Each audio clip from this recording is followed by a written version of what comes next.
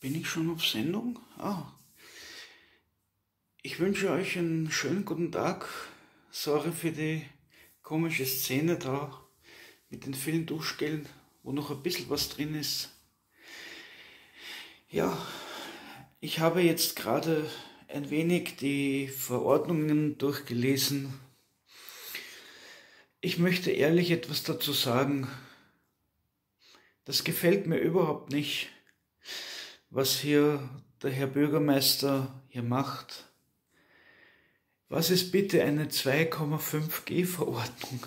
Was ist bitte eine 2,5G Verordnung, Herr Bürgermeister?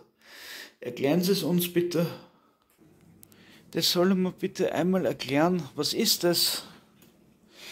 Heißt das für mich als Mensch, ich soll mit dem halben Fuß hinein in die Gastronomie und mit dem anderen Fuß mich ausschauen? Ich weiß nicht. Was stellen Sie sich vor, Herr Bürgermeister? Können Sie mir das noch beantworten? Ich würde mir wirklich von Ihnen wünschen, dass Sie Rückgrat haben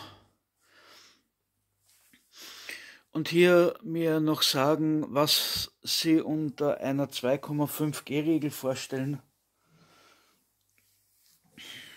Da bleibt mir jetzt noch selbst der Hustentropfen noch im Hals stecken, wenn ich das schon lese.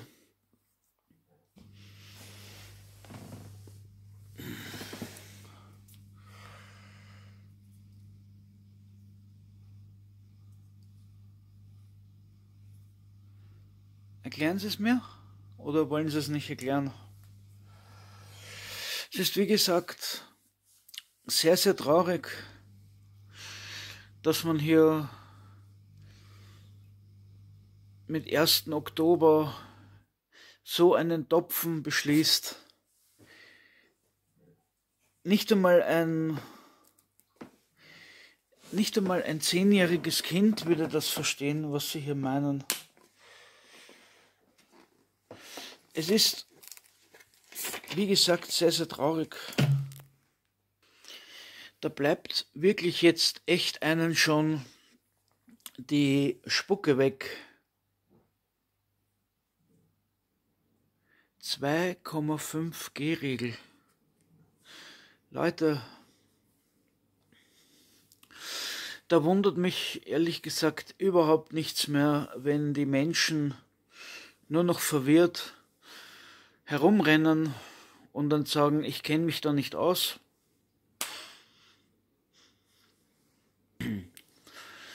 Und noch einmal, der Herr Bürgermeister soll mir das bitte einmal erklären warum man jetzt zu so einer sinnlosen Maßnahme gekommen ist, 2,5 G-Regel. Lieber Herr Bürgermeister, einen guten Rat von mir selber.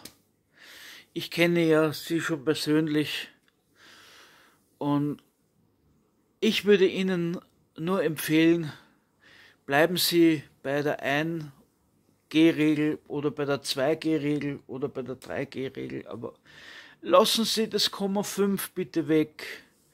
Da kennt sich wirklich niemand aus. Und ich würde Ihnen wirklich mal das Buch empfehlen, was zu sagen ist, weil ich glaube, da kommen Sie auf bessere Gedanken. Selbst die Nase juckt schon, wenn ich diese Verordnungen lese. Und ich frage mich wirklich als Mensch persönlich,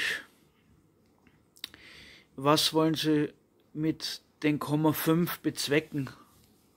Was wollen Sie da bezwecken? Und ja, das war's auch wieder